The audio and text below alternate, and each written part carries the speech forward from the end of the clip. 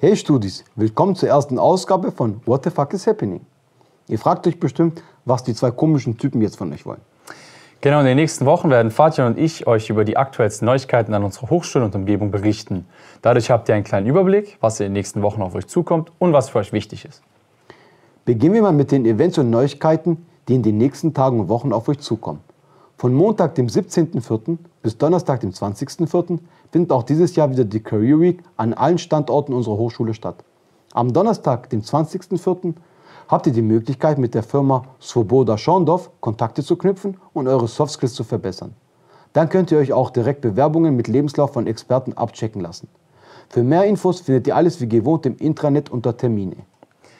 Falls ihr euch mit anderen Studis und Profs austauschen wollt, findet sich am Mittwoch, den 19.04. die perfekte Gelegenheit. Anstatt After Work ist After Vorlesung bei uns in Göppingen angesagt. Beim Get Together könnt ihr euch um ab 17 Uhr mit Freibier und einer gechillten Atmosphäre in den Mittwochabend verabschieden. Nicht ganz so unterhaltsam wie das Get Together, aber trotzdem sehr wichtig, ist mal wieder die Anmeldefrist zu den Prüfungen. Ab Montag, dem 24.04., könnt ihr euch zu den Prüfungen für dieses Semester anmelden.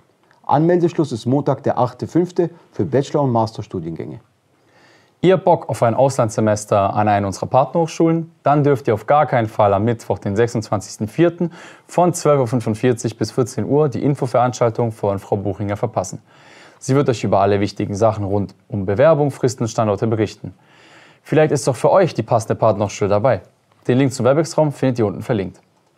Kommen wir zu den Nachrichten in Göppingen und Umgebung. Für alle Basketballfans unter euch findet am Samstag, dem 22.04. in der EWS Arena ein Spiel der zweiten Basketballliga der Pro A statt.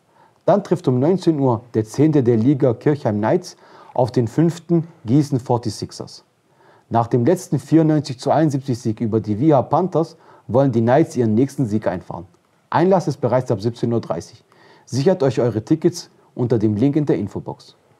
Und auch Freunde des Hallenfußballs kommen diese Woche nicht zu kurz, denn morgen findet ab 19 Uhr das Quali-Spiel der deutschen Futsal-Nationalmannschaft gegen die Auswahl aus Schweden hier bei uns in Göppingen. Auch hier könnt ihr die Tickets für die EWS-Arena über den Link in der Infobox kaufen. Ab Samstag, dem 22.04. ist es endlich soweit. Der Cannstatter Vasen öffnet wieder seine Tore und Festzelte. Bis Sonntag, dem 14. Mai, könnt ihr es dort richtig krachen lassen, bevor es danach in die heiße Phase des Semesters geht.